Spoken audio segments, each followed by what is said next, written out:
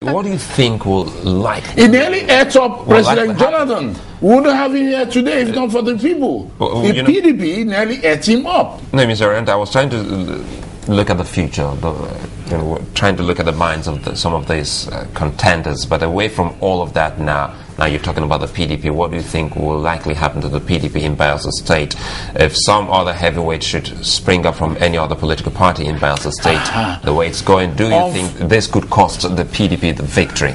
Unfortunately, the PDP is truly, really the giant party. Maybe not in Nigeria, but in the Niger Delta. And in Bayelsa, I really honestly do not see any other party beating them if a very heavy weight does not go into an opposition party. Now, Sylva could be a very heavy weight because uh, we keep saying it's difficult to beat an incumbent. It is very difficult to What beat about an this type of incumbent. uh, machinery? You know, these are political terms we've grown to here in Nigeria. Structures. Structures and all that. Let's talk about Sylva's, Governor Sylva's structure and machinery in Bayelsa State. They are, they are extensive. In fact, let me add to that uh, so they can respond to both. Uh, Ejiofor also asks, why then is he uh, showing some sort of desperation to pick up the ticket? Can't he go as an independent candidate? It is better. Well, maybe uh, uh, today we have had uh, quotations from Sun Tzu and Igbo land. Let me give you one from Efik land.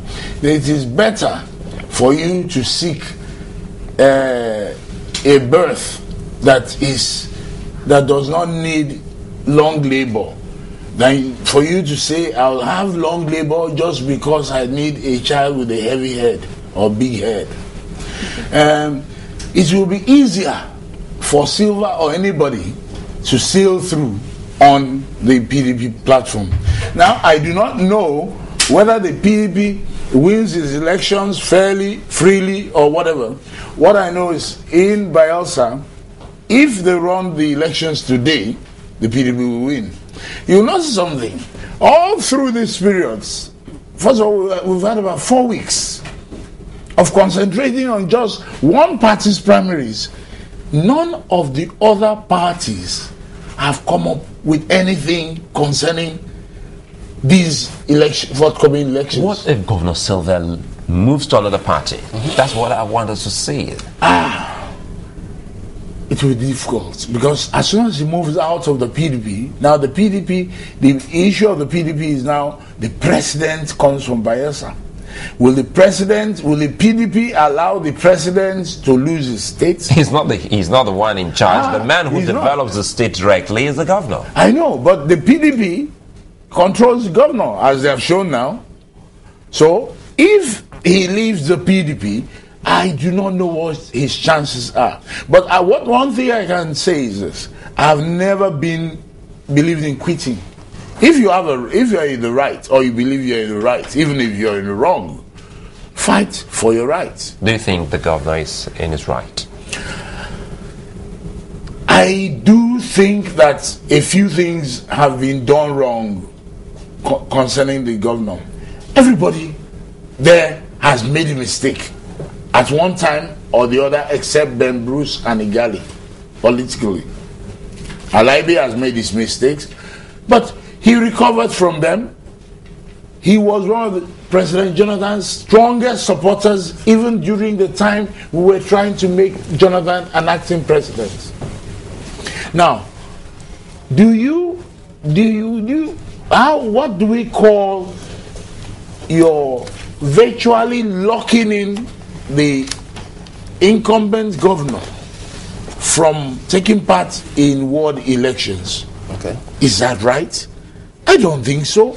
Now that is that is power being overused. And I know one thing about President Jonathan, he also tells me that look, you know, you don't use power beyond 10, 20%. In this case, power is used 110%. Could you join in up with the comments we see in the papers this morning saying that Bayelsa elders were the ones who they had always been talking about some of these matters, but some of them, the report here from Tribune said they had up to here. I, I know one thing for sure.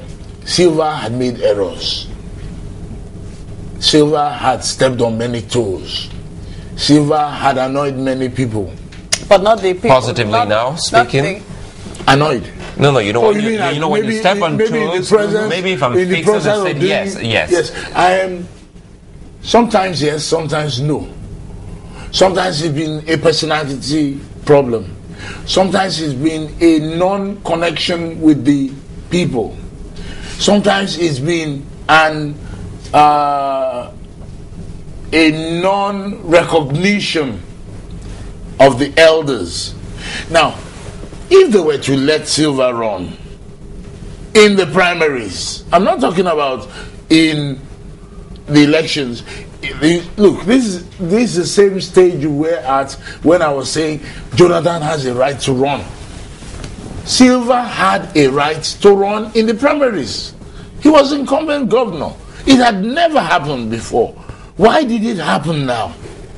Now, no matter what mistakes he made, you could beat him during the primaries. Not, don't, not play him out in a dirty way. But We Nigerians are not satisfied with the way he was finagled out. Okay. But shouldn't we be optimistic that, well, at the end of the day, since both parties have submitted themselves to the courts, the courts can resolve this. And by the way, whichever the way the pendulum swings, it's still within the same party. Yes, and personally, anyway, um, I really would have loved to see uh, a heavyweight in the ACN or APGA or any other party.